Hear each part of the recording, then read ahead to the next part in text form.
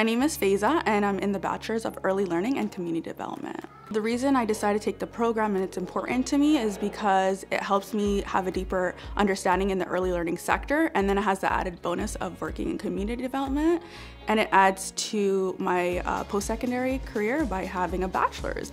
Uh, I feel like community is a big part of everyone's life, common unity. Uh, I love working with people, I love helping people, and we kind of do it every day not knowing, so that was something very exciting for me to learn. I want to do teaching for a couple of years, but I would love to work in the community development, working with families, uh, minority groups, food insecurity, something I'm really interested in. So I'm not too sure where exactly, I just know that doors are open for me with this program.